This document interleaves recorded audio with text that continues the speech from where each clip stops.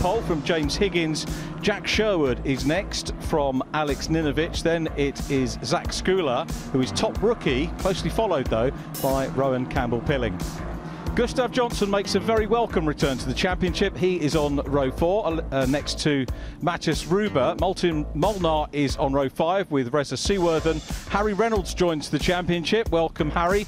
Uh, as too does Thomas Bearman uh, brother of Ollie, the Formula One driver. Chloe Chong next from Alex Berg. Then the Rookie Championship leader, Johan Sway, with work to do. August Raber alongside him, followed by Nina Gademan and Yu Hao Fu on row nine. The grid completed by newcomer Emily Cotty, then Kai Daryanani and Bart Harrison at the back of the grid. So Deagen Fairclough, I'm wondering whether he'd be nervous. Deagen never strikes me as the nervous type, used to winning competitions of all sorts. And what a year he has had so far. But this is the race that could secure him the championship. A win would be enough, but realistically just needs to beat Alex Ninovic by four points. Out go the lights, and we are racing for the first time in the penultimate race weekend of the season. Fairclough gets away well. Ninovic is having a good go and challenging him. It goes up into second position on the inside. The damp circuit could catch them out, but the drivers know where the damp spots are. They've had two green flag laps, and Fairclough is under pressure. And Ninovic is going around the outside. Let's see if he can do it side by side. The Rodin driver doing absolutely everything in his power to take the battle to Deagen Fairclough, the second year driver, and it's Fairclough that soaks up the pressure so far. We haven't seen Deagen having to do too much of that over the course of the season so far because he's been very, very dominant. He's had so many pole positions and so many race wins as well. And what we've seen in the racing where he has been battling is taking the lead earlier on in the race, getting a little bit of a challenge, and then starting to find his feet and beginning to move away. And it looks like he's got the measure of Alex Ninovic in the Rodin car in second position as they complete lap one here. 20 minute race as ever for the championship. Now you can see the pressure is on for second position, three wide for second. Ninovic loses out. Ninovic down to third. So Ninovic on the inside run here. Is he going to get the position back? He's well teed up, but he's not going to have the momentum here on that inside run. And coming through is James Higgins, who qualified P2. So we'll feel that he's got a little bit more pace as Bart Harrison from the back of the grid has an issue. And as you would expect, as you get to the later stages of the racing season, these guys get used to the car, they get used to car racing scenario and start putting in some very good results. And Scoular looking very handy at the moment.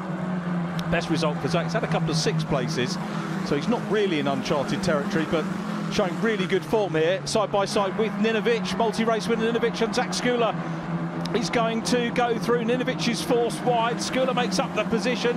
Down behind them, we've got uh, Rowan Campbell Pilling coming up, along with Reza Seewooruthun.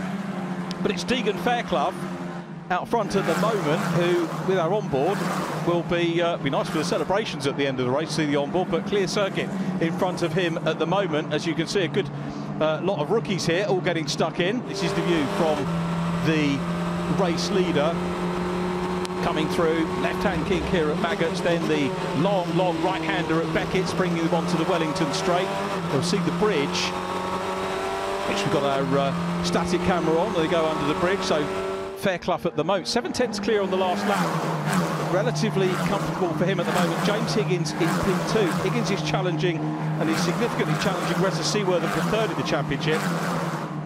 Higgins will in fact take third position in the championship for this one. I think that's Zach Scoular had a puncture. Didn't look happy, did he? But very quickly turned around. Scoular will rejoin the race down towards the, the back. Deagen Fairclough, the 18-year-old from Surrey, out front leading this one. What does the future hold for Deagen? He's been nominated for the shortlist for the Aston Martin Autosport BRDC Award.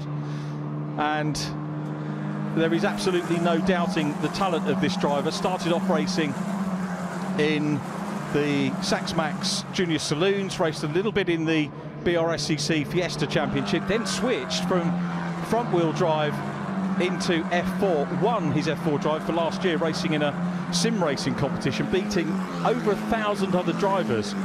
You really do have to consider that in most racing, you're going into a championship maybe with 20 other drivers, and to win is a great thing. But when you go into a competition where you've got a thousand other drivers, and to come through the best of the best of those, that's exactly what Fairclough did.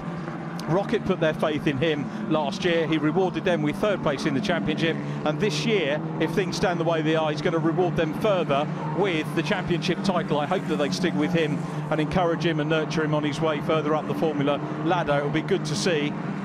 There is Alex Ninovic, who's had a decent season as well, but is coming into pit lane. So that is very definitely then going to be game over for the championship. Fairclough will take the champion. There's no way that Ninovic is going to get back into the points from the pits. Fairclough now four seconds clear.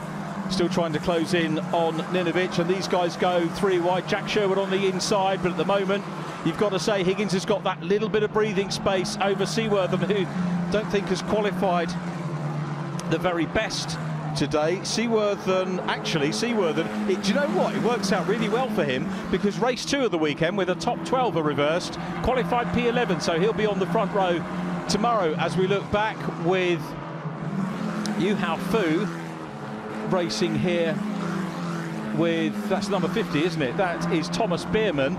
Deagen Fairclough still out front. Six seconds the gap now from the dueling pair for second position. So Ninovic still being chased by Deagen Fairclough. Fairclough has got the race under control. This is played out pretty much as we said it might well do. This is Emily Cotty, top karting racer, champion in karts. Emily Cotty saw her testing with the team at the start of the year, doing what a lot of drivers do, will test for a season or so before coming into the championship proper.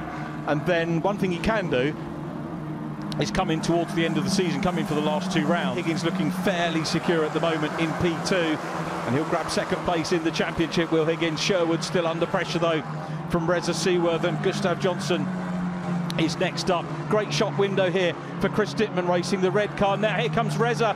He's through. Reza's up into third from 10th on the grid. Reza Seewooruthun has made it through out of Maggots into Beckett's. Great move on the inside for Seewooruthun and that gives him clear sight now, or does it? There's going to be another counter attack here from Sherwood, but Seewooruthun's got clear sight of the driver in front of him, and that is who he is dicing with for second place in the championship. But Sherwood, of course, wants to take the battle back as they go into Brooklands, the left-hander. Speculative wide run there.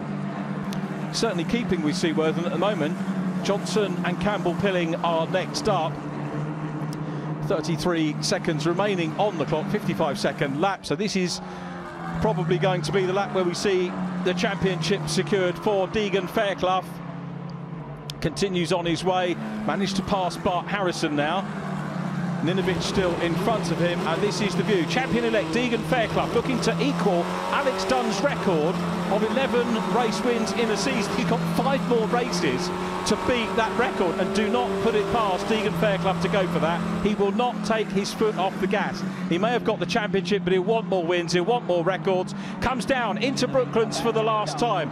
Deagen Fairclough is there. It's been a super season. To wrap it up with five races to go, in my book, is absolutely incredible for Fairclough. Out of Woodcote, the checkered flag will beckon, and we provisionally crown our 2024 ROKiT F4 British champion certified by FIA. This youngster is very possibly on the ladder towards Formula One. He's got the super license points now to back that up. Many, many congratulations to all at Hitech and to Deagen Fairclough on a well-driven season.